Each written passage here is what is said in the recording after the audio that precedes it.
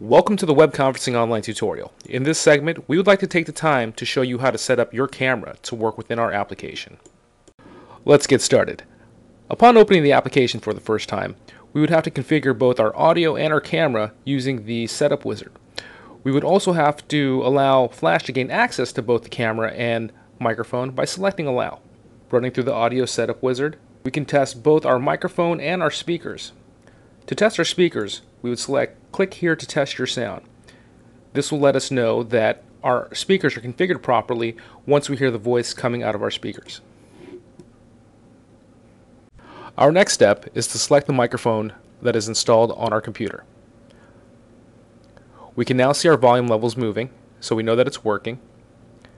We'll now configure our camera. The first step is to select the camera that's installed on your computer and that you would wish to use.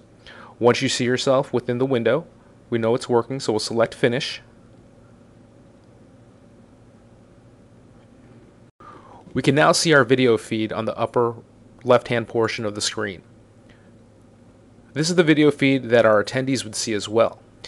If the video quality isn't up to par, we can enter the settings menu and configure the connection speed to adjust the video quality.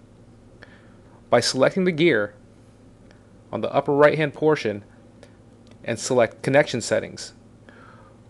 We can adjust our video size, the proper bandwidth that we're using, and select close. Our video quality has now improved